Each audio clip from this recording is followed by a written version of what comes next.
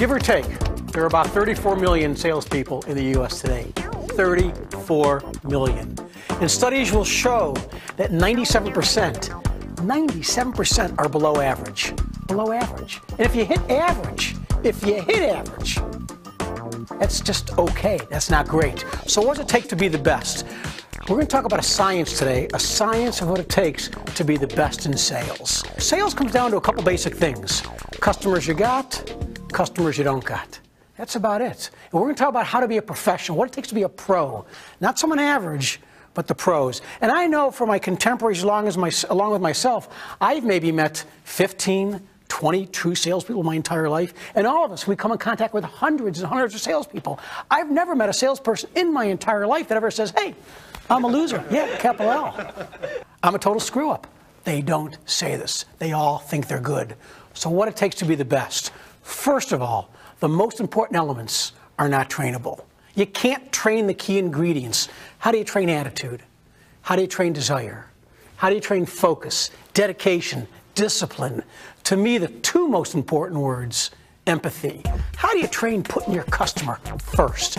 I mean, putting them ahead of you, ahead of everything. And how do you train enthusiasm? How many of you have kids? Yeah. All right. How many have kids around six or seven years old? Okay, good. Now, imagine going to a supermarket with a seven year old. yeah. And here's what happens. And you, and you, go with your kid, and the kid goes, Mom, Dad, I want those ding dongs or Twinkies. What's the next word out of your mouth? No. Yeah, right. No. And then the kid, what do they do? But I want to. How come? Why not? And they won't quit until one of two things happens. Number one, you break down and buy the ding dongs, the Twinkies for them. Or number two, they're grounded till they're 40. They're natural salespeople. They're great. Why? Their enthusiasm is genuine. They're asking questions that they believe in. And you never see a doctor going, come here. We got a special going on this month. Okay? Appendectomies. Two for one. You bring one of your buddies in, one of you guys getting a good deal. You know what I'm talking about? You'd be freaking out if they did this. And you never see a doctor going, hey, you know, got any referrals? Got any sick people I can call? Huh, we need some more business. Doctors don't ask referrals. Why? They earn referrals. You believe in your doctor. You believe in your accountant. You believe in your attorney. You want to recommend them. Maybe a house painter. If they really showed up and did everything they were supposed to do and did a good job, you want to recommend them. That's the same thing with salespeople. We want to recommend the great salespeople. Now let's talk about what it takes to be the best. The best of the best. What the true pros do, that 3%. Three areas, three simple areas. Number one, to be highly organized. How many of you in this room have a daily planner? Yeah. Okay, good. How many of you, if you lost it, would sit in the middle of the room, cry, freak out, and go on Prozac? Yeah, exactly. See, the, pro, the pros, they write everything down. You got to write everything down. See, for the people in this room that are a little bit younger, when you're in your 20s, trust me, when you're in your 30s, you're going to be taking Tums and Rolaids. Yeah, like the rest of us. And when you hit 40, here's what's going to happen. You're going to be in the kitchen feeling pretty good.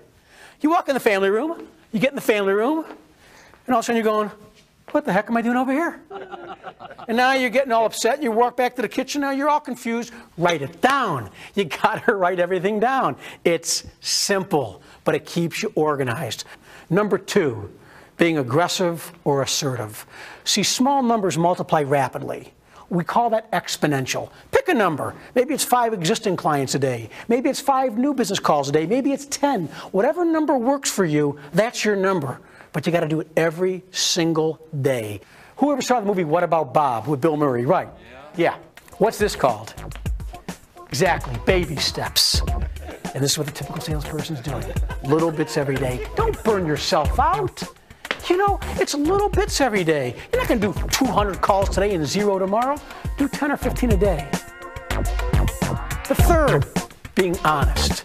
Yeah, everybody says they're honest. I'm talking about really being honest. See, my parents taught me something a long time ago when I was a kid.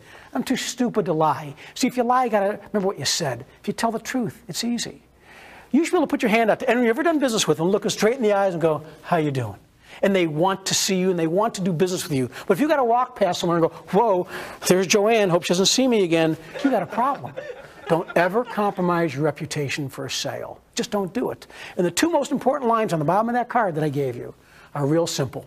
People buy from people. They buy from who they trust, who they like, who they feel comfortable with.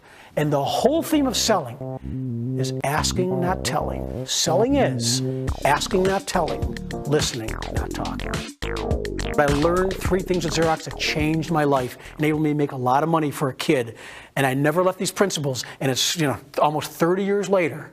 Number one, learn your product. Learn your product better than anybody else. You don't want to go in your doctor's office and go, Doc, I got some chest pains. The doctor goes, chest pains? Whoa, Sparky. That's pretty serious. I'm not good on the left side of the body, but I'm really good on the right. You want the doctor to know their stuff. Know your product, know your service, whatever it is, know it. Number two, learn your competition. Your competition is not your enemy. Your competition is your best friend. If you got good competition, it raises the bar, it makes you better. And don't ever knock them. You knock a competitor, you just told that person they're stupid for looking at them. You don't tell people they're stupid. The third thing I learned at Xerox, so by the way, number one, number two, pull a squiggly line. That's called working smarter. It's learning, it's nonstop, things always change. Number three, work harder. Yeah, I said it. work harder. So at Xerox, we're our quota because a goal without a plan is a wish. Our goal is 10 new calls a day. So I said, okay, what's not going to make me money? Not going to make me money. Getting up late, going home early, goofing off, shopping, you know, flying on a pilot, whatever it is, none of those things are going to make me money. What's going to make me money? More rejection. So I set a goal of 20 calls a day. Now I know anybody that says, hey, you know what I want to do today? I want to be rejected, dejected, treated like dirt, talked down to, told no. That's what I'm looking forward to. Nobody looks forward to these things, but you have to do it. It's part of the job. So I set a goal of 20 calls a day. And some days, yeah, I can only do 15. The other day I made up 25. But the end of the week, well, everybody else at Xerox did 50 calls. I did 100. At the end of the month, when they did their 200, I did 400. And at the end of the year, when they did their 2,400 calls, I just did 4,800. Was it tough? No. It was called consistent, a real basic plan. So I was number one the first year, made a lot of money for a kid, stayed there four more years. So I was in the top 5%, did really well, but I always wanted my own business. I didn't know what. Wanted my own company. And I get this idea because I had a number of cars stolen in the late 70s. Yeah, to buy a car, it's gone. I went to a little tiny import. And the dealership called me to see if I was satisfied. I was pretty impressed. Well, that's a pretty cool thing. So I called the dealership to say thank you. You know, you know we're all quick to complain. We're not quick to give accolades. So I called the owner and said, I want to thank you for calling me. Can I ask you how, do, how are you doing this? They explained to me they had part-time people making these follow-up phone calls. All like, wow, follow-up phone calls, customer service. And this hasn't been done yet. So I did some research and I found out there's only one company in Louisville, Kentucky doing this. No one on a national scale. So I started a company December 1st of 1982 called Direct Opinions. And we're the ones, if you took your car into a dealership, you went to a hospital, retailer, and they simply called to see if you were satisfied. That was our company. Not a card, not a letter, just a follow up phone call. We built the company up. But the only problem is I was in business for about three weeks. Didn't feel so good. Felt like I kicked in the stomach. Well, being the brave guy that I am, I waited about two and a half months to go to the doctor. Went to the doctor uh, February 18th of 1983. I went to the office. I'm going to shorten the story up. And make a long story short, what happened is they told me after doing some tests, they came in and told me, Hal, we've got bad news. You've got terminal cancer. You're already stage three, and I got to tell you straight up, we don't think you're going to make it.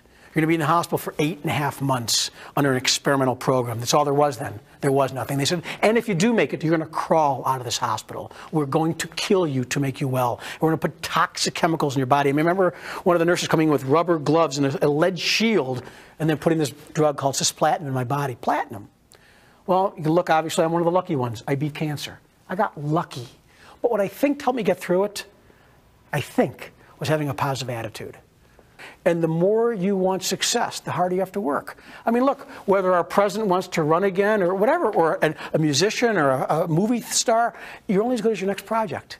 And if they want to run for president again, they got to go back on the, you know, got to go back on the tour and do this. And everything is a cycle. And in sales, it's a cycle. But if you keep it consistent, the cycle never end. And it's really easy.